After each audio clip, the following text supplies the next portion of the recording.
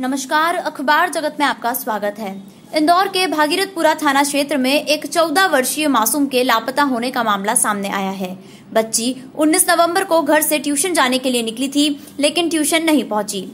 इस मामले की शिकायत बच्ची के परिजन ने उसे दिन भागीरथपुरा थाने में लिखवाने की कोशिश की लेकिन परिजनों का कहना है कि पुलिस ने शिकायत नहीं लिखी। मेरा नाम श्रुति गुरैया है और मैं उसकी सिस्टर हूँ बड़ी सिस्टर थाने पे क्यों आए? क्या कारण हुआ? थाने पे इसलिए आए 19 नवंबर को शाम छः बजे हमारी बच्ची है रिया वर्मा जो 14 वर्ष की है वो घर से निकली थी कोचिंग जाने के लिए लेकिन वो कोचिंग नहीं पहुँची।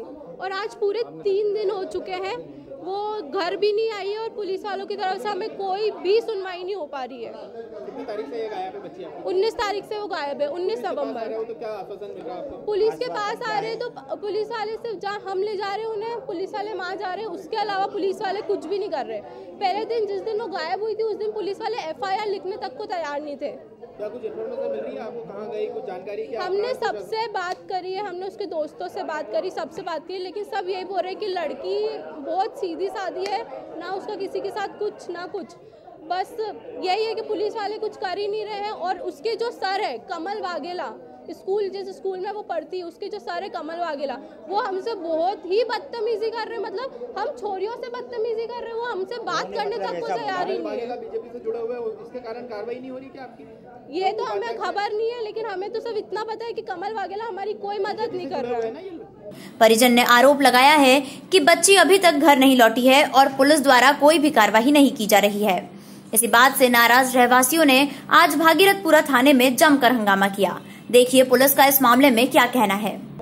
यहाँ तो एक लड़की जो है वो यहाँ से मिसिंग हो गई। है। तीन सौ तिरसठ का कायम कायमी कर लिया है।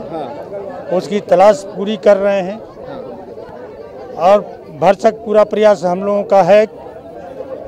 लेकिन रवासियों को परिजनों का कहना है कि पुलिस कार्रवाई नहीं कर रही कई बार शिकायत लेकर हमने कायमी उसी समय किया कायमी करने के बाद विवेचना मैंने ली।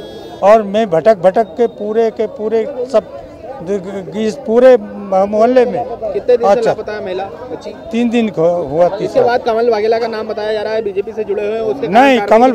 कमल कमल वघेला से भी मेरी बात हुई है उनसे ही बात हुई है तो कि उनकी स्कूल है। परिजनों का ऐसा कहना है कि बीजेपी के नेता हैं वो इससे कार्रवाई नहीं कर रही पुलिस दबाव में। नहीं अभी इस, इस बारे में अपन कुछ नहीं। नाम आया है? है? क्या नाम है वो? कमल वाघेला जी के स्कूल का नाम? एक एक से- आपका नाम बता दो बड़ा साहब से हमको बता कपिल देव। ब्यूरो रिपोर्ट अखबार जगत इंदौर।